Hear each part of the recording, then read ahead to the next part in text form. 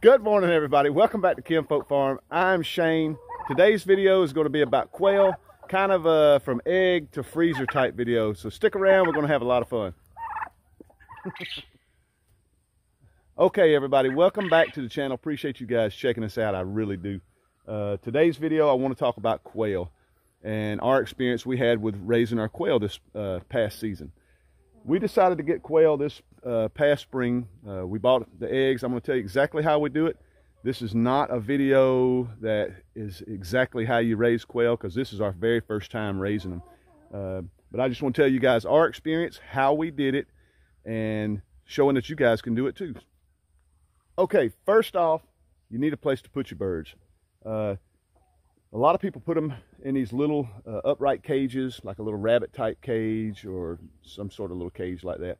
We happen to have these uh, little chicken tractors where we're raising all our meat chickens in. So it worked out great for us. We got to put them on ground.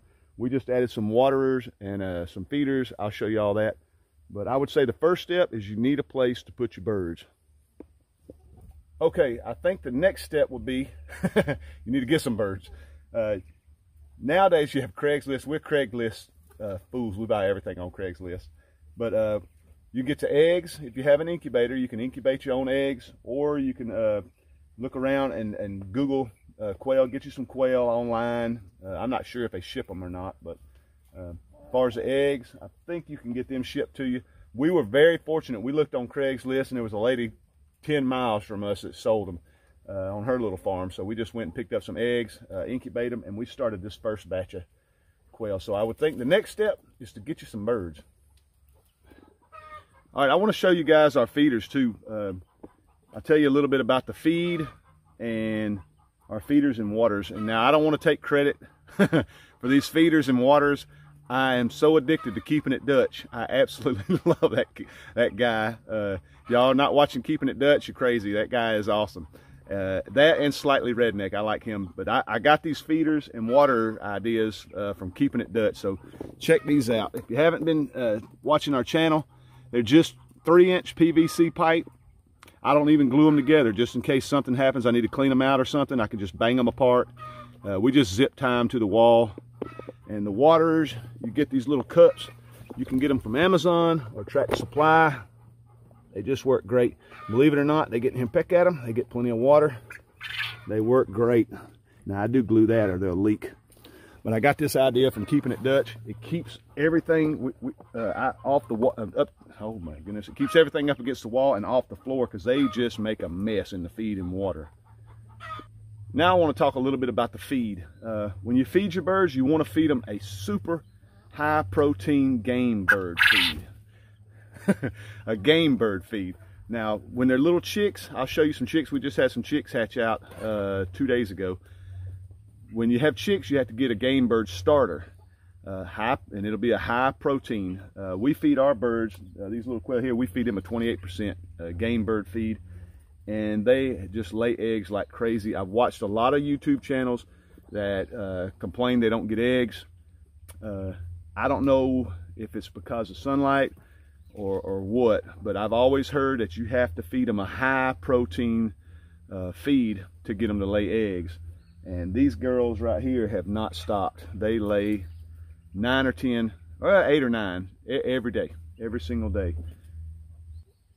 All right, another thing I want to talk about is if you're wanting to breed your birds to get fertilized eggs in order to hatch, uh, you need to get your male to female ratio just right. Uh, you, you basically want it four to five females for every male. Uh, you thin out, once you get a, a, huge flock of birds, you, you wing out or uh, thin out, you thin out most of your males, but try to keep one uh, male for every four to five females. And here we have it a little high. I have uh, 11 females and five males. So today we'll probably be culling out one or two uh, males out of here. so there will be some processing in this video. All right, well, some interesting little facts that we've noticed is uh, chickens lay their eggs in the morning and the quail lay theirs in the evening. It's really neat. You come out here in the evening, or you come out here in the morning check, there's no eggs, but come in the evening and uh, you'll find tons of eggs. But something else we, uh, we found out is uh, you have to have around 14 hours of daylight or 14 hours of light for your quail to lay eggs and it's kind of funny. We we sort of got an experiment going that we really didn't know we were we were doing. These birds are laying eggs every day, and these are not. They should be. These guys here. These this is the pen I'm going to be culling out some males out of today. But they're not laying eggs, and our thinking is, I don't know if you can see that. There's a street light right there that we have out here and it shines right into this pen at night but this tree blocks this one when we come out here at night this pen is lit up like the sun and this one is completely dark and so i think that's kind of interesting that these guys are laying and these guys are not because they, sh they should be way past laying and i'm thinking it's going to be for that street light and we'll let you know later on other videos as we come into winter if these guys are laying in the winter it's going to be no doubt it's because of that street light Okay, like I said earlier, there's going to be processing in the video because I have a bunch of males that need to be culled out of this pen. I need to thin it down. Um, but I just want to tell you guys, the meat from the quail are absolutely phenomenal. Uh, it's mostly a breast with legs. The legs taste fantastic. To me, it tastes like a turkey. Uh, super, super uh, delicious meat. And the eggs are phenomenal. We boil all our eggs uh, for the fact that it's just easier to peel. It seems like when you scramble them and stuff, you get little shards of egg uh, shell and everything. But uh, we boil the eggs. They're fantastic. To me, everything about quail is delicious. okay, what we use to incubate our eggs is this Hova-Bator. I know I got it upside down. But this incubator is fantastic. Uh, we've had this thing for a few years. We've incubated tons of chickens, uh, tons of quail. We did uh, a bunch of guineas one time. We just incubated tons of stuff in this thing. Uh, it's pretty inexpensive, um, 100 bucks maybe. Uh, we got on Amazon. The Hova-Bator is a great incubator, and there's just tons of them out there. But we just incubated 40 uh, little baby quail. Just hatched out about two days ago, two maybe three days ago. Smells like a week ago. But they're just they're just so cute. Just absolutely ridiculously cute. we're going to take these guys out and put them in the brooder house here shortly uh, because they use the bathroom. They just poop like crazy. So we need to get them outside. They really get your house smelling right. Uh, I think they've only been here, I think today's day three.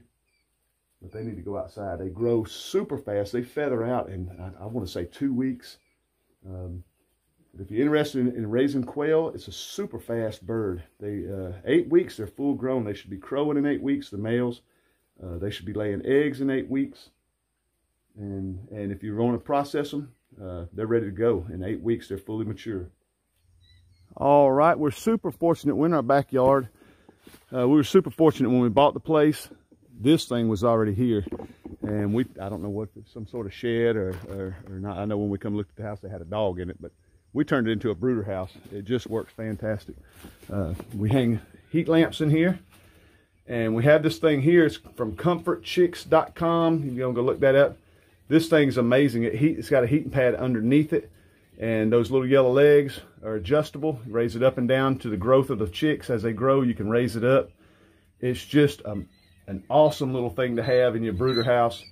It gets super, super warm. Uh, and we like it a lot better than these heat lamps. You ain't got to worry about nothing catching fire. I worry to death about these things uh, coming down. I only have one clamp right now. I'm just going to go in the house and, and, double clamp it. I like to have a nail up there, something to strap it to because it really, really worries me if that thing wants to give. But that's from comfortchicks.com. Uh, super, super cool little tool to have in your brooder house. We're going to let these guys go in here, get some food and water, and get these guys comfortable.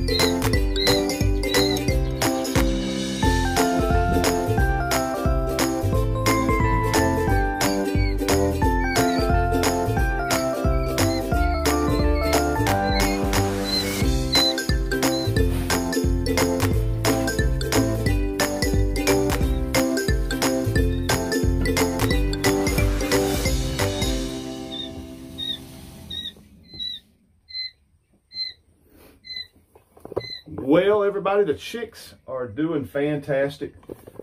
All huddled. There's a bunch huddled under there because it's finally warmed up. There's some hanging out here.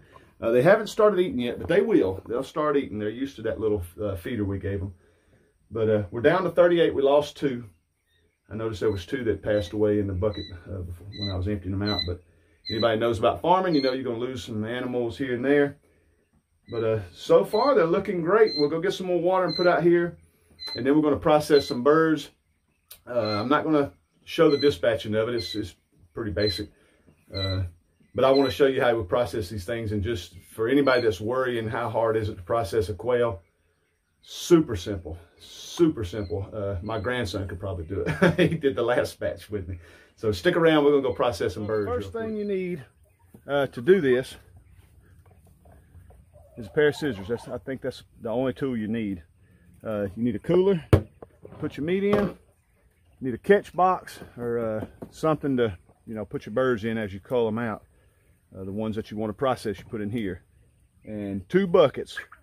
One to put your feathers and uh, innards and all that in, and one to sit on. So, what we're going to do is I just sit here and sort of watch them and normally they crow. I haven't been hearing these birds crow whatsoever. And they're way past due to start crowing. They're just huge birds. But you can kind of tell by the breasts on them. See, like, whoops, that guy right there is a male. That guy's a male. And she's probably the female. She's probably female. They'll have a speckled chest. He'll have a copper colored chest. I hope y'all can see that. Yeah, see that's a female right there. And what we do is we pull out all the males and put them in this box. Put them in this box and then I can determine how many females I have and I can determine how many males I need to put back with the females to sort of get that four to five, uh, four five to one ratio. Uh, I did take one of the males out of the other pen uh, for the fact I, I think I had too many males over there. They're just pulling all the feathers uh, out of the top of the heads of the birds. And let me explain the reason we uh, you want that five because the males are very aggressive. Uh, they'll fight uh, with each other like crazy when you have too many males in there. So you want to sort of thin the males out to where they're not fighting and also thin them out to where they're not beating up the females uh, too bad. we noticed our females over there starting to get uh, not bald, but they're getting the feathers pulled out of the top of the head. Uh, one other thing I want to talk about, I forgot to mention on the incubator, is when you're incubating your eggs, you want to keep it, keep the incubator at 100 degrees, and we try to keep our humidity around 50 to 60%, and we check our incubator every day to make sure nothing's happening. And in 16 days, your birds should be hatching. And uh, we usually let the hatch go on for about three days because sometimes you'll have some later birds hatch. Uh, so uh, you cut your cut your turner off at 14 days, and then on day 16 your eggs should be hatching. But let's let's uh, sort of start looking through here and cull and. Uh, this guy right here was trying to make a little noise. let's uh, sit here a minute and cull some of these birds out, see how many uh, males we come up with. And let's see. Well, that didn't turn out like I expected. We got a lot of females. I mean, a ton of females. The last batch uh, we did over here in the pen next door, the males just way overwhelmed the females. There was like 16 uh, males in there. This batch had 20 females and just a few males. Uh, I actually put four males in here with uh, 20 females. I got 20 females and four males. And I got two, four, six, only seven, only seven birds to process. And uh, two of them was from the next door uh, pen. One was a, a, hen that's been injured and we've been watching her for a while. Uh, she's got a bad leg. It never recouped, so we're gonna go ahead and process her. And one was an extra male we had over there. So this pen ought to be laying a ton of eggs next spring. But like I say, you can see how well it's shaded with that big tree. Uh, I don't know if they're going to be laying much at all until next year. But me and my nephew are actually going to plan on cutting all these trees out. We got them. I don't. They're they're so old, and they're and half of them are just starting to die. I don't know if they've gotten too tight, but that's another video. Uh, stick around, I'm gonna show you guys how we process these real quick.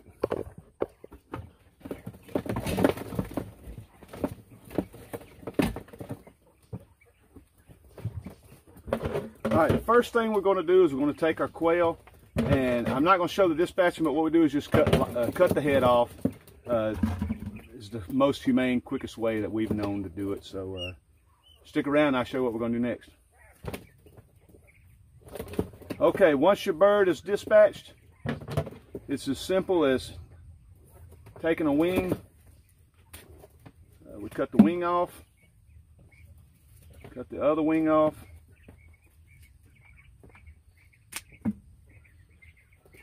Cut the feet off at the knees.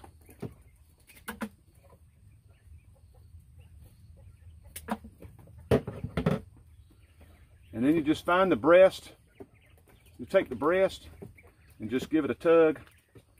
Just give it a tug. We're not trying to feather, uh, take the feathers out. We're trying to skin it. If you'll take the, the skin and just pull it over like so.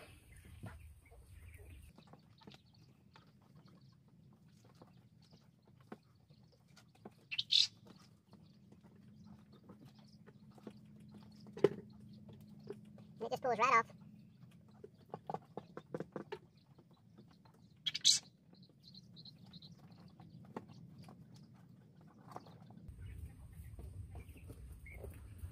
Next, the next thing you do is right. That's the uh, right down the. The next thing you do, the next thing you do is go right inside. There's the chest. You'll go right down the spine and just cut all the way to the tail. Cut all that and then go down the other side of the spine. Cut that. Pull that spine out and pull all the innards out.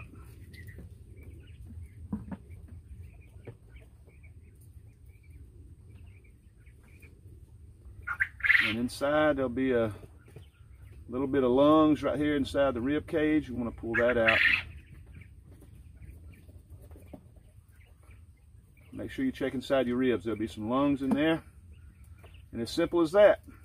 Now right here on the tail, you may want to snip off that little tail section right there. Snip that off. But other than that, that's it wash it off, get these little feathers off. But that's what you end up with.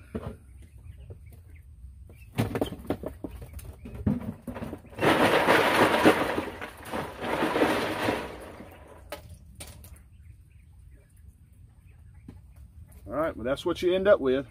A nice, beautiful breast. Uh, and if you ask me, these legs taste better than the breast. We were having a fit over the legs. They're, they're just a delicious bird. Uh, well, all right, it's simple as that. Uh, the processing is really simple.